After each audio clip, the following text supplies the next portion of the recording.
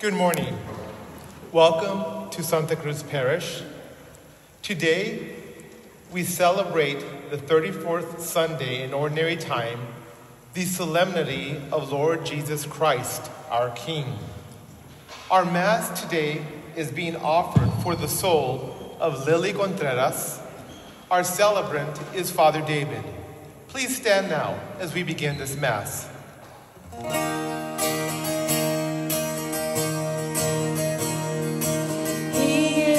Exalted, the King is exalted on high. I will praise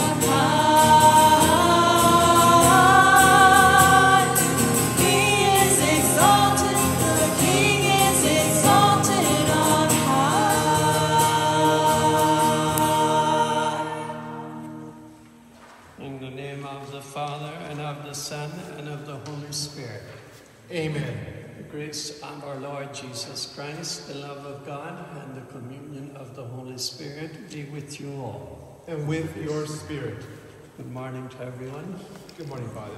and welcome to our celebration of the Mass today uh, here in the church and for the live stream, all those who are watching it on television uh, or on co- their computers. Let us uh, enter in with uh, gratitude to Christ our King, our Lord and King, the King of Kings, the Lord of Lords. Give him praise and honor and worship and open the doors of our hearts to his love and to his grace and to his mercy.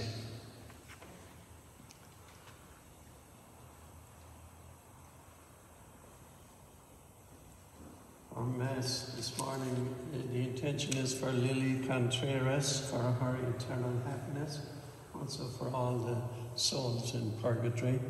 And we remember also uh, two other special intentions James Kelly and also uh, Gerard Griswood, who died in Ireland. And this is his anniversary.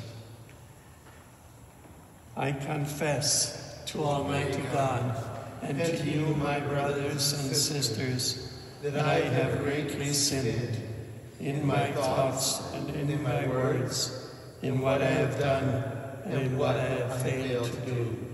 Through my fault, through my fault, through my most grievous fault.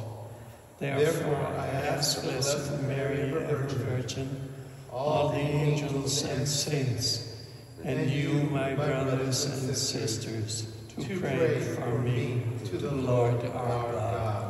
May Almighty God have mercy on us, forgive us our sins, and bring us to life everlasting. Amen.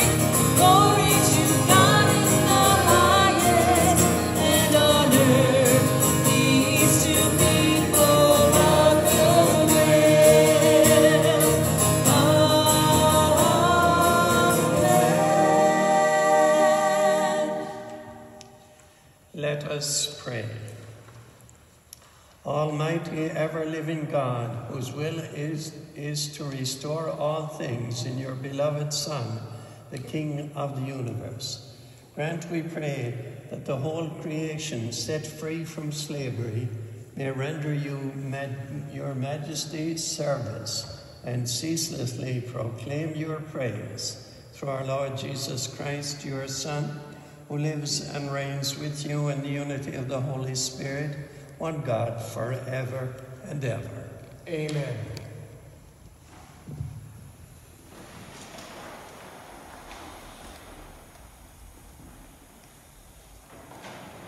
Our first reading is a reading from the book of the prophet Ezekiel.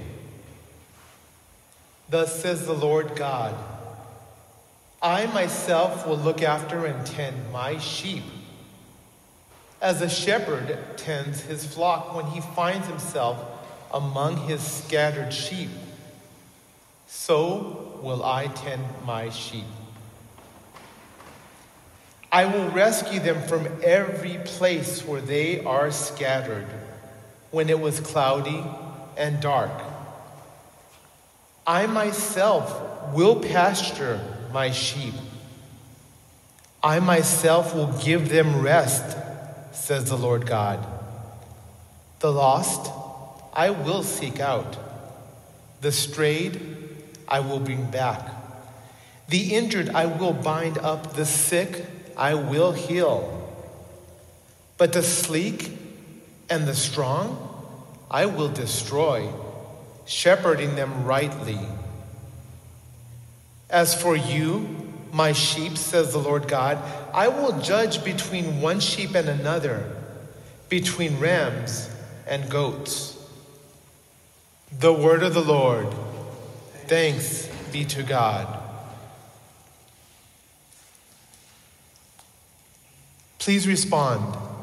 The Lord is my shepherd, there is nothing I shall want.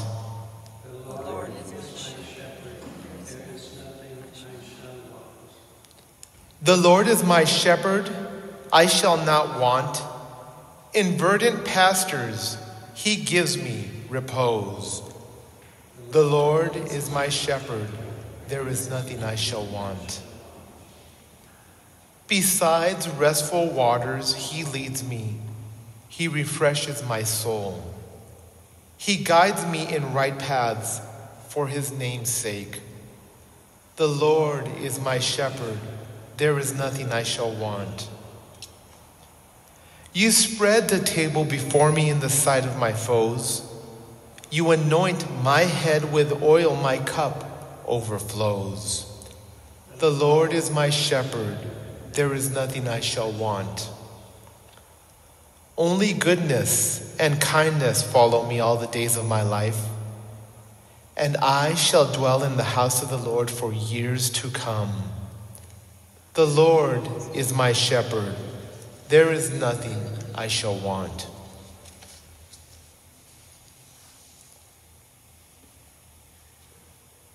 Our second reading is a reading from the first letter of St. Paul to the Corinthians. Brothers and sisters, Christ has been raised from the dead, the first fruits of those who have fallen asleep. For since death came through man, the resurrection of the dead came also through man. For just as in Adam all die, so too in Christ shall all be brought to life, but each one in proper order. Christ is the first fruit. Then, at his coming, those who belong to Christ. Then come the end, when he hands over the kingdom to his God and Father, when he has destroyed every sovereignty and every authority and power. For he must reign until he has put all his enemies under his feet. The last enemy to be destroyed is death. When everything is subjected to him, then himself then the Son himself will also be subjected to the one who subjected everything to him, so that God may be all in all. The word of the Lord. Thanks be to God. Please stand for the gospel acclamation.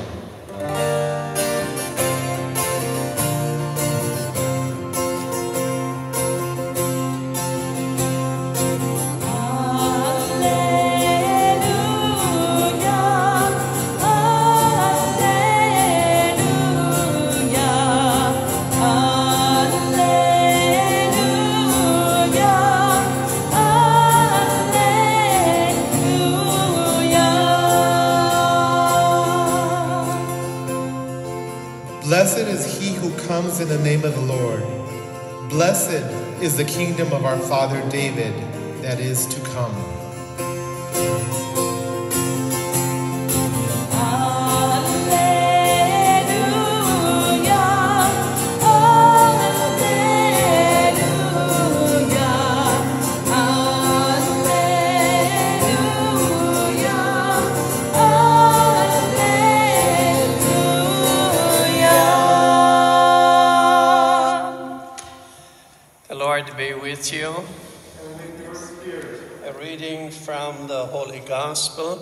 According to Matthew.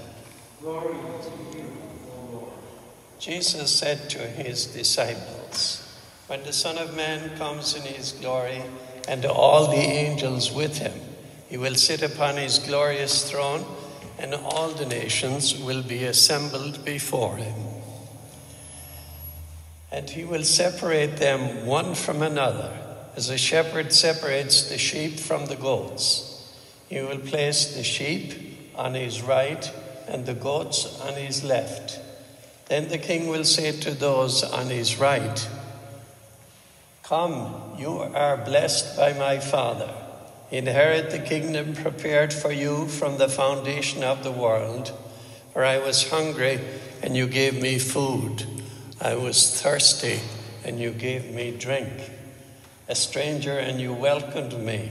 Naked, and you clothed me. Ill, and you cared for me. In prison, and you visited me. Then the righteous will answer him and say, Lord, when did we see you hungry and feed you, or thirsty and give you drink?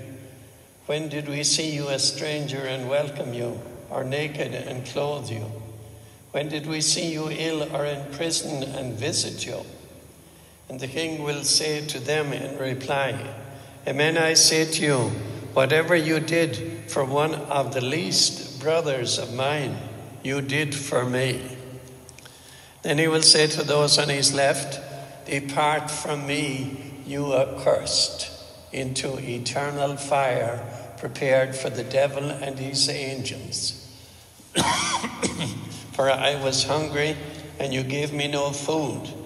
I was thirsty, and you gave me no drink. A stranger, and you gave me no welcome. Naked, and you gave me no clothing. Ill and in prison, and you did not care for me. Then they will answer and say, Lord, when did we see you hungry or thirsty, or a stranger, or naked, or ill, or in prison, and not minister to your needs? He will answer them, Amen, I say to you, whatever you did not do for one of the least of my brothers, you did not do for me. And these will go off to eternal punishment, but the righteous to eternal life. The Gospel of the Lord. Praise to Lord Jesus Christ.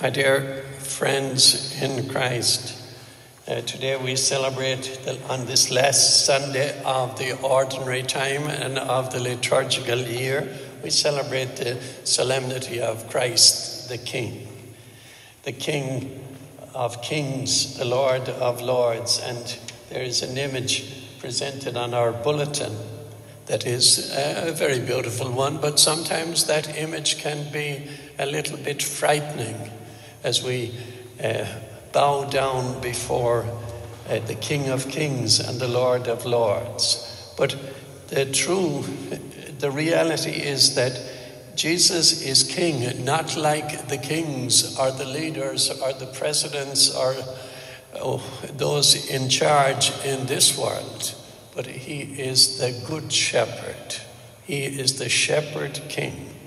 And that is very different from our usual image of leaders and of kings in our world today. And uh, that is, I think, always the way with the teaching of Jesus. It's different. The kingdom of God is not of this world, it is of a different uh, attitude and a different mentality for, from our own human ways of thinking. He is Lord because we were created in Him. He is Lord because we were saved by Him. And He is Lord because we will be judged by Him. And the Lord is the Good Shepherd. The final judgment that we have in today's Gospel is um, very well known to all of us, and it is easy to understand. You have sheep and goats, one on the left, one on the right, and the good ones come into the eternal happiness of heaven, the others are banished. The surprising thing, of course, is that both the good and the bad are surprised that they are mentioned, that they are people who took care of the poor and needy, who fed the hungry and the thirsty, who clothed the naked and went to visit those in prison. And they ask him, When did we see you do that? And Jesus identifies with the poor and the needy and all those who are in difficulties in this world. And that is what we are judged on. That is very different again to the, our ways of judging, even when we come up to judge serious things in our world, in court cases. We have uh, advocates and lawyers on one side and on the other, and we have a, a jury uh, judging, and it can be very complicated. We are experiencing that in the, the uh, questioning of, of the elections at present in our country, that it is a complicated business and not easy to follow, not easy to understand. But the last judgment, the judgment of Jesus, is very easy to understand. It is simply how we treat one another, how we treat the least of our brothers. It is that least of the brothers that Jesus uh, highlights and identifies with himself and it is how we treat them that d- determines where we go to the left, whether we stay on the left or whether we stay on the right, and where we go to heaven or to eternal punishment, to eternal life or to eternal punishment.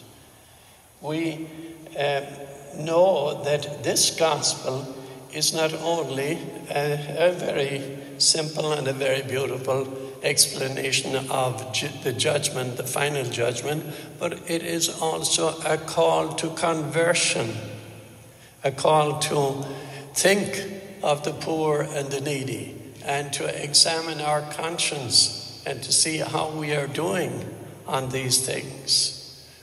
Uh, when have I helped the poor? When have I fed the hungry? When have I visited them in prison? When have I helped the sick? All those things are a, a, a challenge to us, and even if we have done it, we cannot be complacent about it. We cannot just pride ourselves in doing it. That is an ongoing uh, t- test of our fidelity to Christ, that we continue to reach out and to help others. So, my dear friends, I think it would be very good for us to try to examine our conscience and to see how we are doing these works of mercy, and maybe to ask ourselves Did I do anything this past week? And what will I do for this coming week? How will I do these works of mercy in my life today? That humble service is the only thing that matters at the Last Supper. That is the great thing to keep in mind. And St. John of the Cross, the great Carmelite mystic and leader in prayer, he does not tell us uh, what, how we will be judged, whether we'll be judged on having mystical experiences or being very pious or being famous or extraordinary or anything like that. He tells us on the last day we will be judged on love, on love of the least of the brothers and sisters of Jesus. Let us renew our faith and our commitment to this great task, this ongoing task of our lives, and the ongoing task that will bring us to eternal happiness.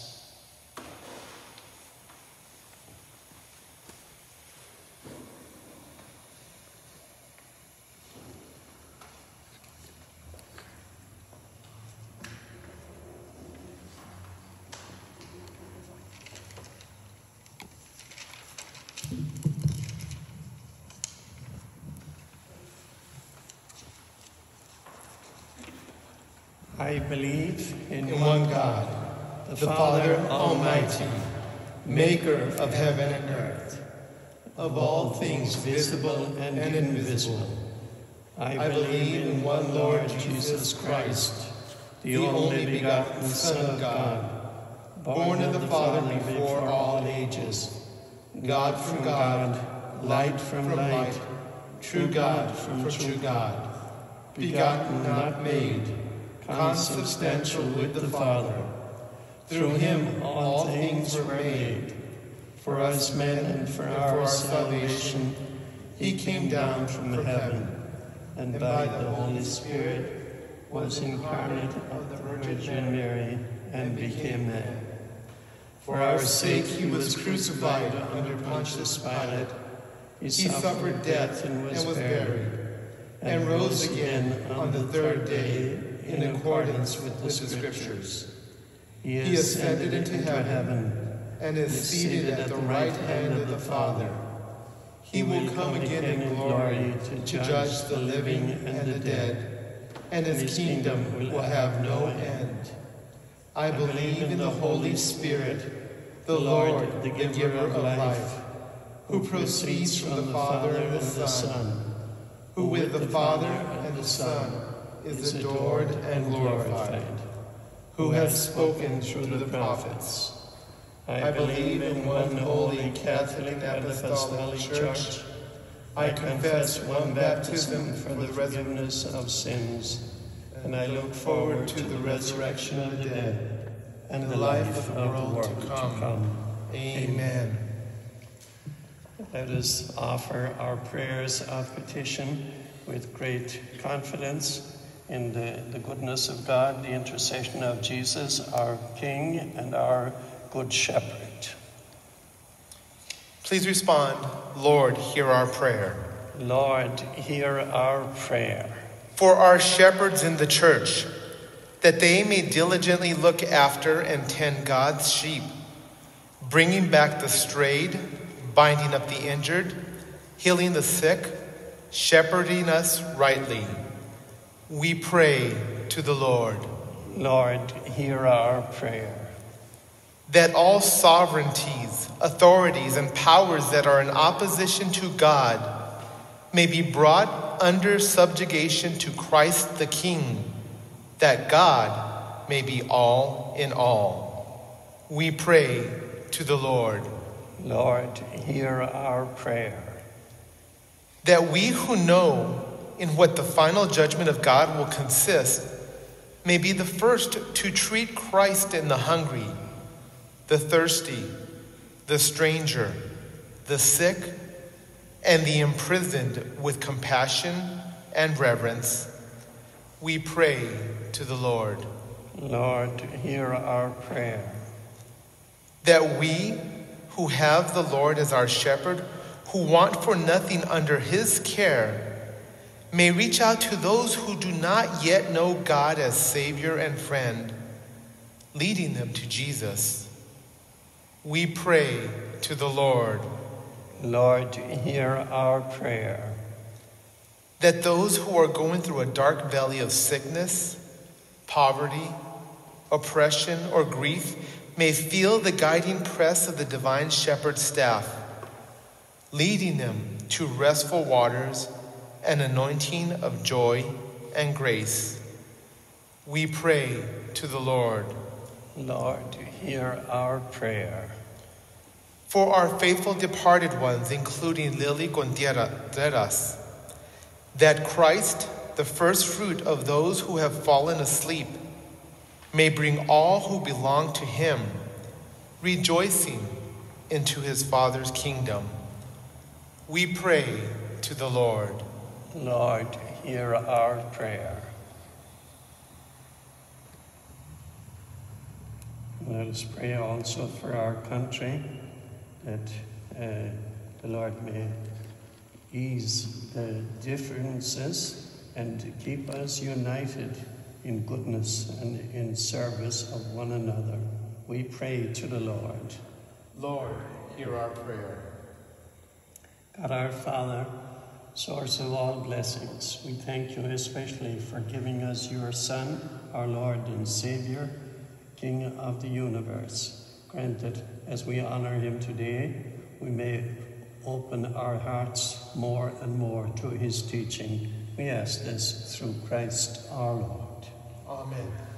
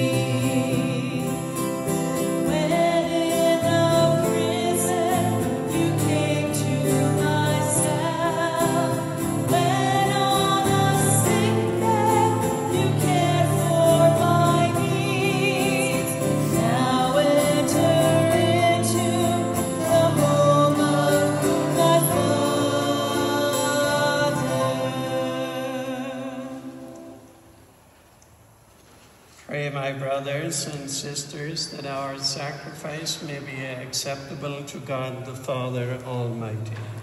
May the Lord accept the sacrifice of his hands for the praise and glory of his name, for our good and the good of all his holy church. As we offer you, O Lord, the sacrifice by which the human race is reconciled to you, we humbly pray that your Son himself may bestow on all nations the gifts of unity and peace through Christ our Lord. Amen. The Lord be with you. And with your spirit, Lift up your hearts. we lift them up to the Lord. Let us give thanks to the Lord our God. It is right and just. It is truly right and just, our duty and our salvation, always and everywhere, to give you thanks, Lord, Holy Father, Almighty and eternal God. For you anointed your only begotten Son, our Lord Jesus Christ, with the oil of gladness as eternal priest and King of all creation, so that by offering himself on the altar of the cross as a spotless sacrifice to bring us peace, he might accomplish the mysteries of human redemption and making all created things subject to his rule. He might present to the immensity of your majesty an eternal and universal kingdom, a kingdom of truth and life, a kingdom of holiness and grace, a kingdom of justice, love, and peace.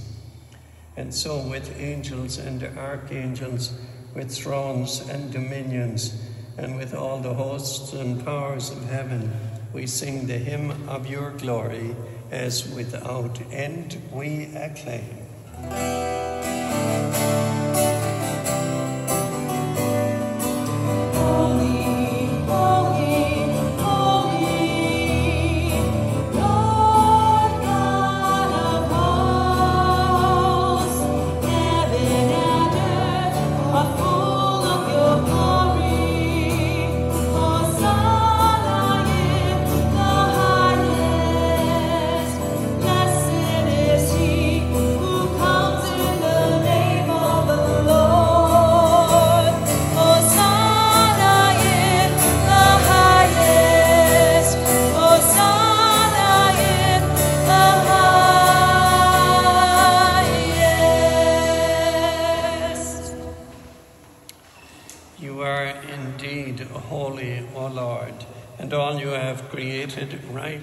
Gives you praise. For through your Son, our Lord Jesus Christ, by the power and working of the Holy Spirit, you give life to all things and make them holy. And you never cease to gather a people to yourself, so that from the rising of the sun to its setting, a pure sacrifice may be offered to your name. Therefore, O Lord, we humbly implore you, by the same Spirit, graciously make holy these gifts which we have brought to you for consecration, that they may become the body and blood of your Son, our Lord Jesus Christ, at whose command we celebrate these mysteries. For on the night he was betrayed, he himself took bread. And giving you thanks, he said the blessing, broke the bread, and gave it to his disciples, saying, Take this, all of you, and eat of it.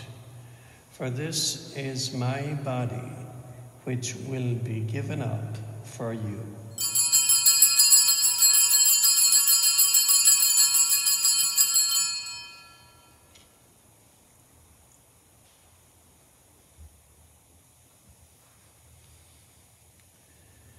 In a similar way, when supper was ended, he took the chalice, and giving you thanks, he said the blessing, gave the chalice to his disciples, saying, Take this, all of you, and drink from it.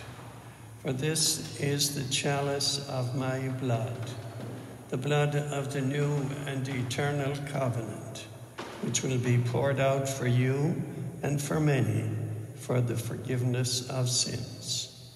Do this in memory of me.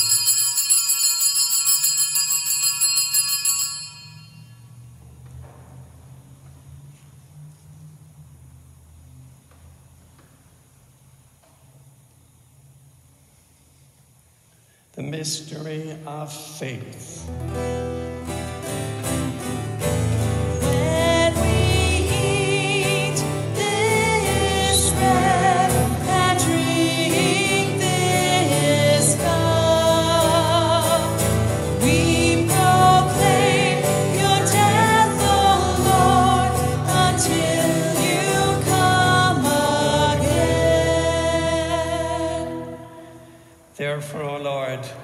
As we celebrate the memorial of the saving passion of your Son, his wondrous resurrection and ascension into heaven, and as we look forward to his second coming, we offer you in thanksgiving this holy and living sacrifice.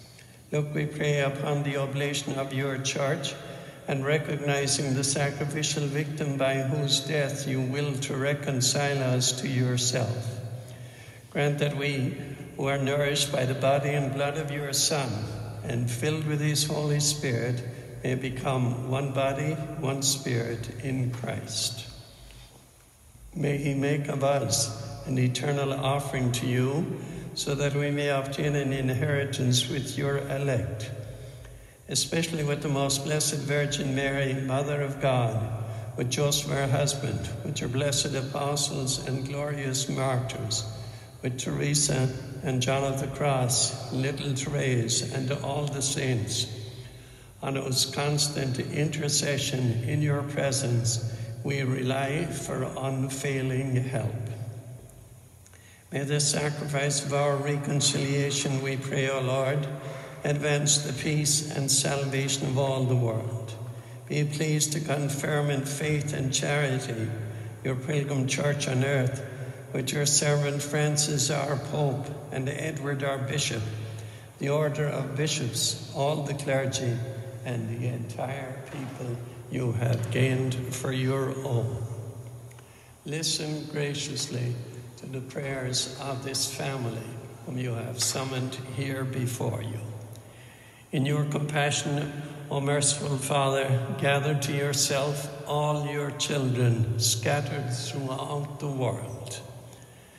To our departed brothers and sisters, to Lily Contreras, for whom this Mass has been offered, also for James Kelly and for Gerard Gricewood, and all who are pleasing to you at their passing from this life, give kind admittance to your kingdom. There we hope to enjoy forever the fullness of your glory through Christ our Lord, through whom you bestow on the world all that is good. Through him and with him and in him, O God, Almighty Father, in the unity of the Holy Spirit, all glory and honor is yours forever and ever.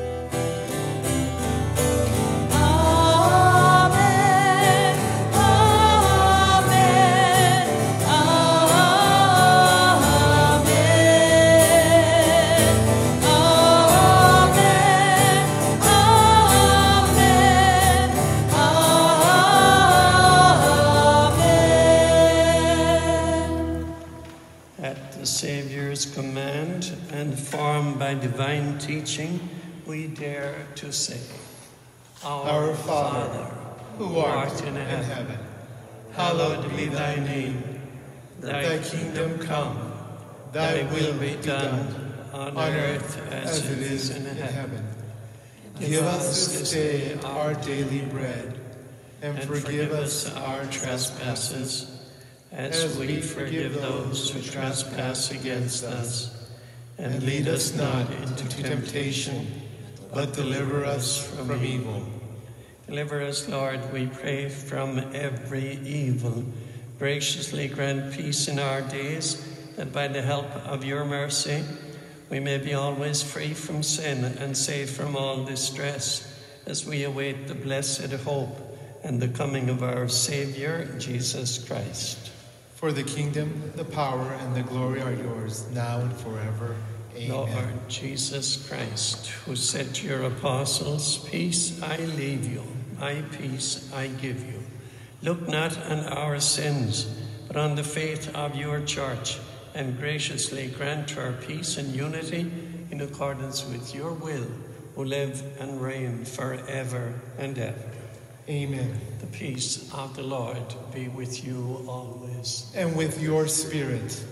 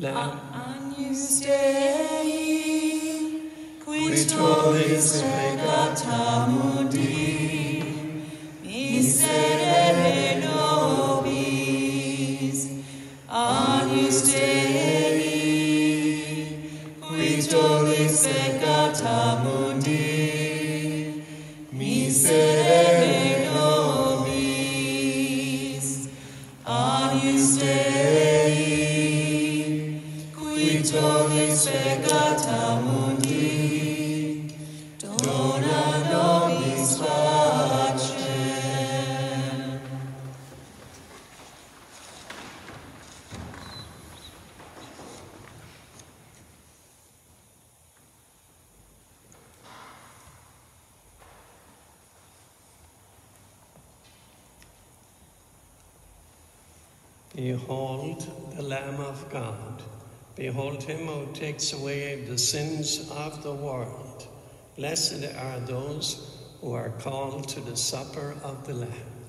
Lord, Lord, I am not worthy that you should enter under my roof, but only say the word, and my soul shall be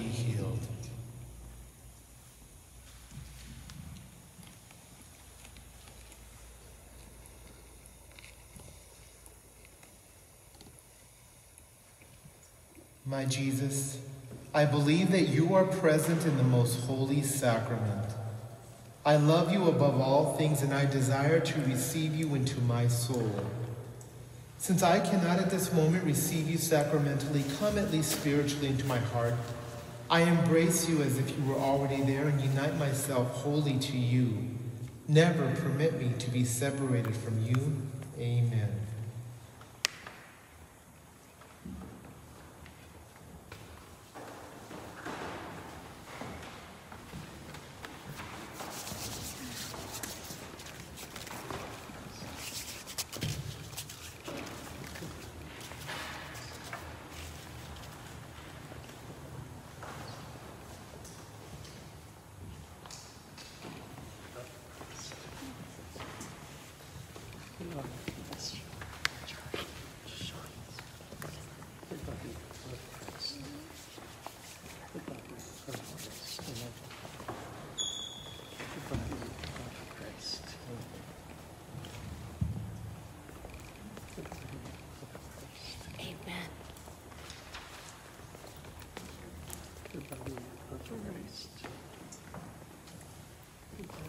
Watch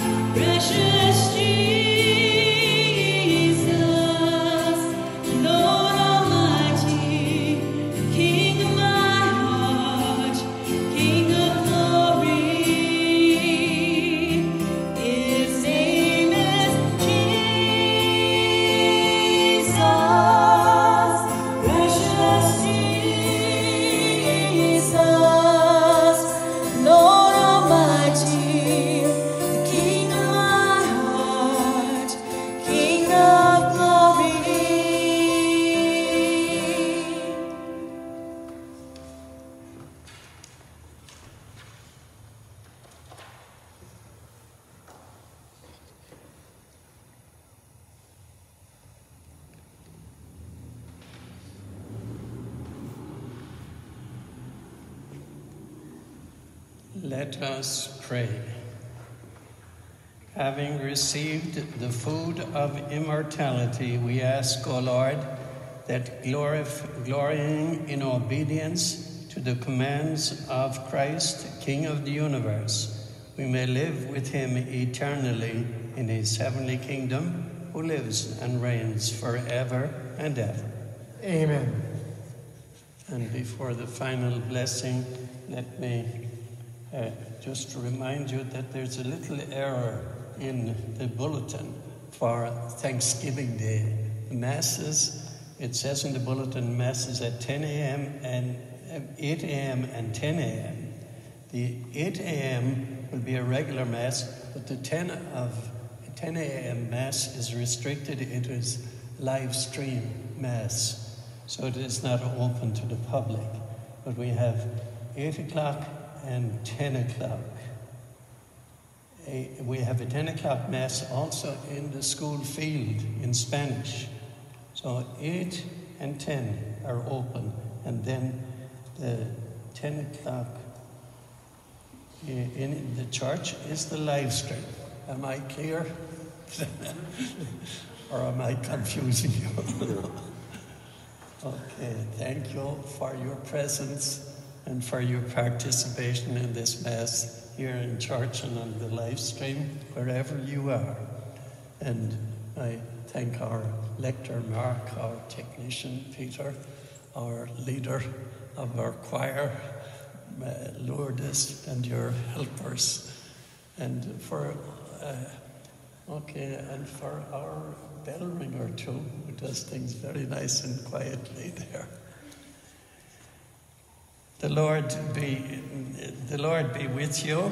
And with your spirit. And may Almighty God bless you, the Father, the Son, and the Holy Spirit. Amen. Our Mass is ended. Let us go in peace to love and serve the Lord. Thanks be to God. Lift up your gaze, be lifted up. Tell everyone how great.